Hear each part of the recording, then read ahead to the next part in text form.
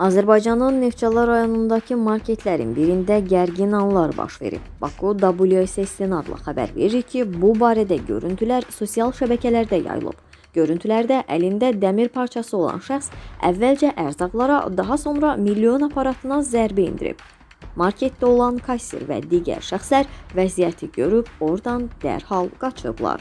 Həmin görüntüləri təqdim edirik.